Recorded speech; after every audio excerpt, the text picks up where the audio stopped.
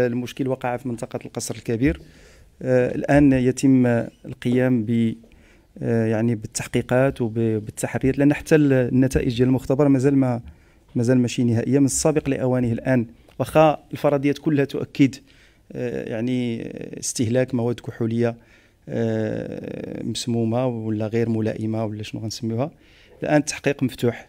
وحينما ستصدر يعني نتائج هذا التحقيق ربما سنقدم معطيات أوفى في الأسبوع المقبل. السلام عليكم. ما تخرجوا ما تنساوش تابوناو معنا في la chaîne يوتيوب وبارطاجيو المحتوى في مواقع التواصل الاجتماعي. وما تنساوش ديروا جيم.